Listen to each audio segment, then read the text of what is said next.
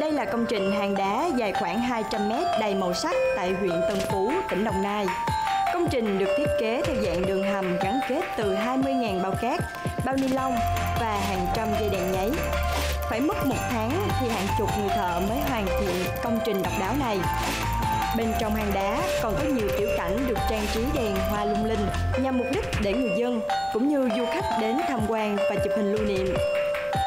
Đặc biệt khi đến đây, quý khán giả sẽ được giữ xe miễn phí.